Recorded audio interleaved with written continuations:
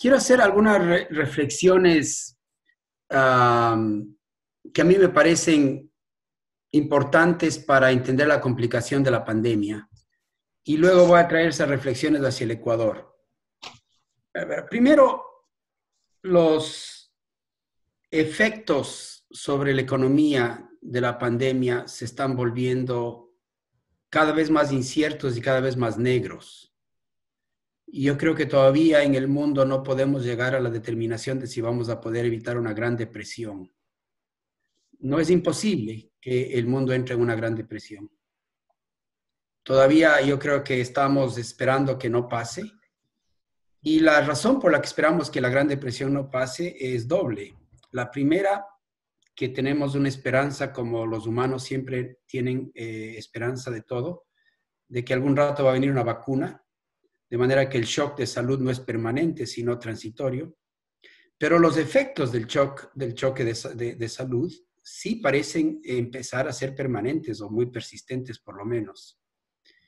Y entonces lo que tú tienes es que, para darte un ejemplo, en abril el Fondo Monetario pensaba que en América Latina la contracción iba a ser del orden de 5% por ciento en 2020.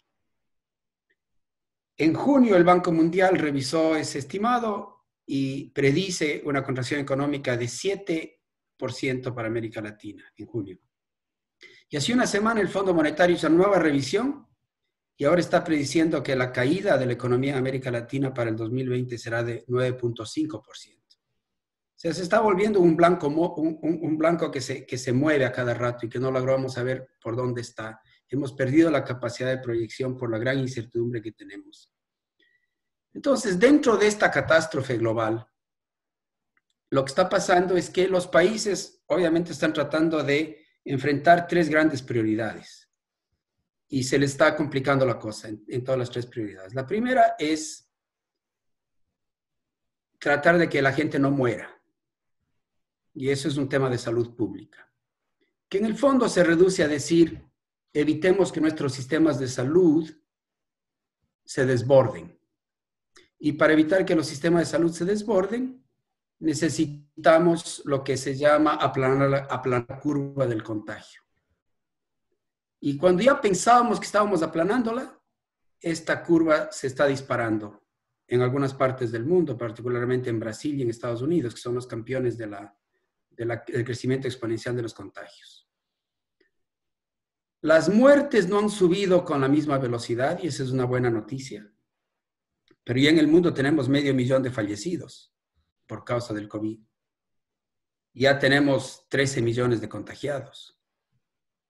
Eh, y el ritmo de, de, muertes por día es, es, importante, el ritmo de contagios por día es importante. Entonces estamos enfrentándonos a un, a un problema de salud tan grande que, que incluso los mejores sistemas de salud pública del mundo han logrado superarlo bien. Obviamente Estados Unidos tiene un pésimo sistema de salud pública y está ahora pagando los platos rotos por eso. Y otros países que tienen mejores sistemas de salud están enfrentando lo mejor, pero incluso sistemas de salud universales como el de Inglaterra no se da abasto, porque a pesar de que es universal no es de buena calidad mientras otros sistemas de salud que son universales de mejor calidad, por ejemplo en Alemania o en Corea del Sur, se está enfrentando la situación de mejor manera. Entonces, una gran lección para el mundo es que no hay que ignorar la importancia de la política pública y que el tema de salud es una esfera en donde la política pública domina porque los mercados no resuelven los problemas de salud. Ahí hay muchos elementos de bien público que requieren de política pública. Entonces, una gran lección para el mundo de que este es el gran momento para repensar la política pública. Entonces, estamos con este problema de salud y es una primera prioridad.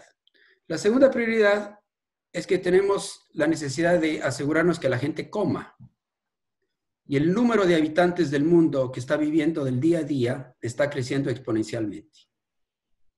Entonces, tenemos, por ejemplo, en, en el Ecuador, en mi país, yo estimo que vamos a llegar rápidamente a tener 12 millones de ecuatorianos que viven del día a día en un país de 17 millones. Estamos hablando de proporciones enormes. Y entonces, ¿qué es lo que el mundo está haciendo para evitar que la gente no, no se muera de hambre o que pueda vivir y consumir y tener el consumo básico? Bueno, en Latinoamérica se han activado las transferencias, las transferencias uh, monetarias, que en muchos países son condicionadas. En Ecuador nosotros tenemos un sistema de bono de desarrollo que, que llega a un millón de hogares, es decir, más o menos a cuatro millones de ecuatorianos. Y el gobierno, sabiamente, una de las primeras cosas que hizo fue duplicar la cobertura del bono de desarrollo. Entonces ahora tenemos un bono de desarrollo que le da dinero, no mucho, 50 dólares, 100 dólares a cada hogar que califica y ya tenemos más o menos 2 millones de hogares cubiertos por el bono de desarrollo, lo cual nos, nos da como 8, 8 millones de ecuatorianos recibiendo asistencia humanitaria, pero me parece que vamos a necesitar ampliar en un 50% esta cobertura. Y lamentablemente en el Ecuador el egoísmo ha triunfado. y entonces cuando el gobierno propuso a la sociedad un sistema humanitario para que la gente que tiene más ahorros y dinero le tienda la mano al ecuatoriano que se muere de hambre, saltaron en contra de esa iniciativa las empresas y el Congreso. Lamentablemente el Ecuador no encontró un punto de convergencia en una cosa que es tan básica, que es eh, un acto solidario. Y, y lamentablemente la iniciativa del gobierno se la vio como un intento de elevar impuestos.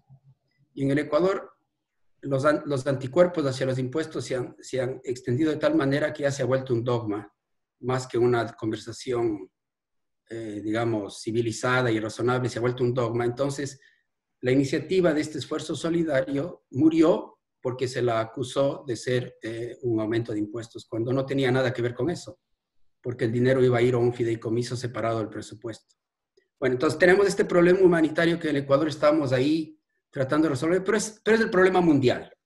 En otros países, ¿qué es lo que se hace? otros países están mandando cheques a los trabajadores que están confinados. En Estados Unidos, por ejemplo, a mi hija ya le llegó un cheque de 1.200 dólares. Puede ser que le llegue otro porque están enviando estos cheques a, los trabajadores que han perdido su trabajo y por tanto tienen acceso al seguro de desempleo o que están confinados y no están recibiendo los sueldos de una manera normal. Entonces, eso es lo que está haciendo el mundo, está subsidiando el ingreso de la gente cuando puede, cuando los gobiernos pueden. En, en Europa, que son menos liberales que en Estados Unidos y más solidarios, les han pedido a las empresas que por favor no despidan a los empleados y el gobierno les está ayudando a las empresas a pagar sueldos bajo condición de que no los despidan. Estados Unidos, que está en el otro extremo, despide rápidamente, pero la gente se acoge al seguro de desempleo. Entonces ya tenemos 40 millones de americanos en el seguro de desempleo. Entonces la segunda cosa que está, el mundo está tratando de hacer es asegurarse que la gente tenga dinero para el consumo básico. Y la tercera cosa que el mundo está tratando de hacer, y también Latinoamérica, es asegurarse que no quiebren empresas que son fundamentalmente viables. Y claro, se ha vuelto un gran problema definir qué empresas son viables. No sabemos. Sabemos que van a haber un montón de pérdidas y de quiebras, pero no sabemos exactamente dónde. Y se ha, vuelto muy difícil desde el punto de vista económico distinguir entre las empresas que tienen viabilidad y las que no tienen. Entonces, el mundo está tratando de generar esquemas para mantenerles con vida las empresas que deberían vivir y aceptar tristemente que algunas van a tener que morir. Entonces el mundo se diferencia dependiendo de cómo están sus sistemas para tramitar la quiebra de empresas o la reorganización o reestructuración de empresas. Eso está haciendo todo el mundo y está haciendo también Latinoamérica a su manera.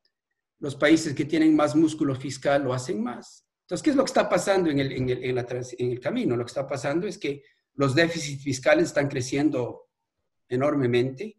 Las expansiones fiscales en, América Latina son el orden de 10 puntos del PIB. Entonces tenemos en todo el mundo déficits fiscales del orden del 7 al 15% del PIB, lo cual implica un crecimiento brutal de la deuda pública en el mundo. Entonces está pasando en el sector fiscal, que está tratando de sostener la economía de mercado porque la economía de mercado con este tipo de choque sistémico no puede sostenerse a sí misma. Entonces, y por otro lado, tienes un esfuerzo muy grande de tratar de mantener crédito para las empresas. Y uno de los temas técnicos más complicados en el mundo es que todo el mundo quiere que las empresas tengan crédito y nadie quiere dar crédito. O sea, mientras más sanos están los bancos, menos crédito quieren dar, porque no saben si van a perder.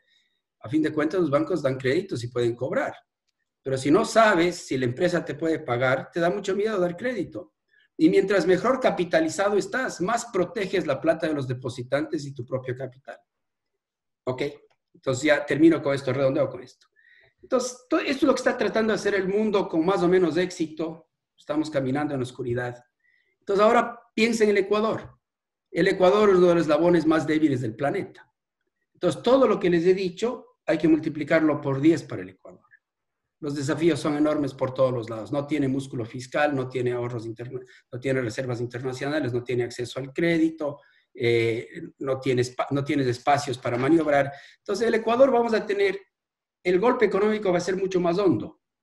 Creo que vamos a tener un crecimiento exponencial de la informalidad, crecimiento muy grande de la pobreza y una gran cantidad de destrucción de empleo formal y de empresas, que va a ser muy difícil recuperar. Y tengo la impresión de que el Ecuador va a ser uno de los países que más lentamente se va a recuperar. Mientras que los países ricos, tú les sueltas la cuerda, les dejas que la gente vuelva a gastar, gasta y la economía se recupera. En el Ecuador creo que la recuperación va a ser mucho más lenta, más difícil. En parte porque no podemos competir en el mundo, el dólar está muy fuerte ahora y eso no nos ayuda a competir. Y segundo, porque seguimos con un costo de capital altísimo, dado el alto riesgo país. Entonces, el Ecuador, como decía Gabriela, la capacidad del Ecuador de salir va a depender de la capacidad de hacer reformas. La oportunidad para equivocarse en el Ecuador es enorme, el espacio para acertar es bien angosto.